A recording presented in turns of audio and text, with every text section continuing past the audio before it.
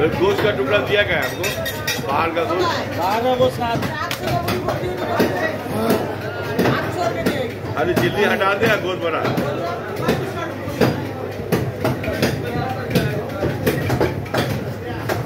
बेटा